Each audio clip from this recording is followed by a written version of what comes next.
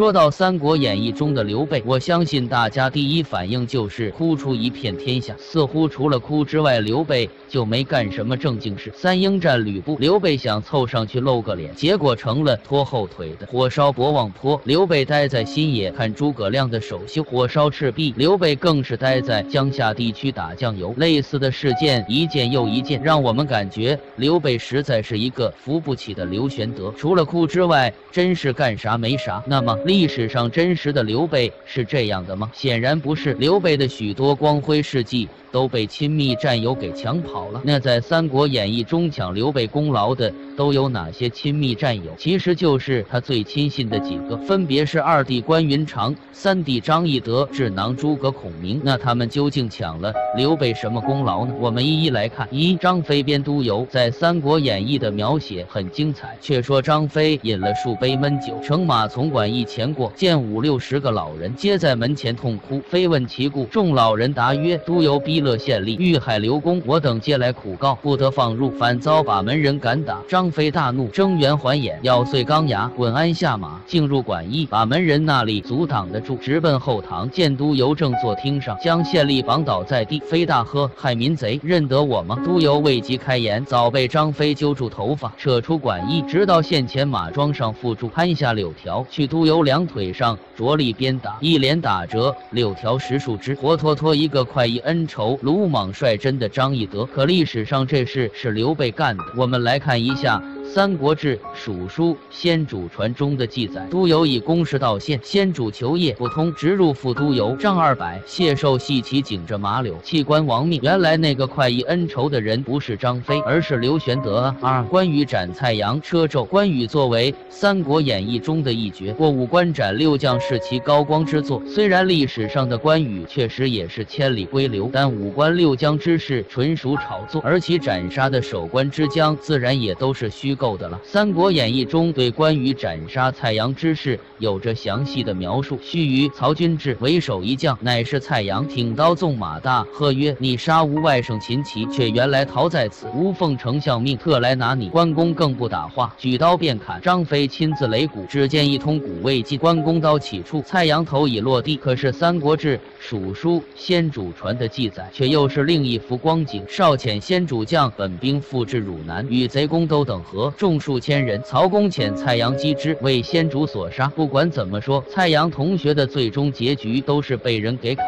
了。只是一边在演义中成为了关张两兄弟。和好的见证物。同时，关羽还另有一次在徐州抢了刘备的人头，对象则是曹操将领车胄。车胄是中计后被关羽一刀斩落马下，看的读者们暗暗叫好。关云长又下一人头，但历史上是这样的记载：太祖灭吕布后，任胄为车骑将军、徐州刺史。建安五年，左将军刘备杀纣，俱配以碑太祖。好吧，真正干掉车胄的依然是我们的左将军刘备，所以千万别说我们。刘玄德只会哭，其实还是打仗的一把好手啊！三，诸葛亮火烧博望坡。说起火烧博望坡，我们一定想到。这可是诸葛亮的开山之作，众多的《三国演义》读者就是通过这一战认识了诸葛亮，之后顿时对诸葛亮的奇谋佩服不连不服气的关张二人也瞬间拜服了。这只是罗贯中同学给诸葛亮加演的一出开门大戏。我们不得不说，这历史上是这样的：史据夏侯惇、于禁等于博望，久之先主设伏兵，一旦自烧屯尾，顿敦等追之，为伏兵所破。没错，又是我们刘皇叔。的大作伏兵也是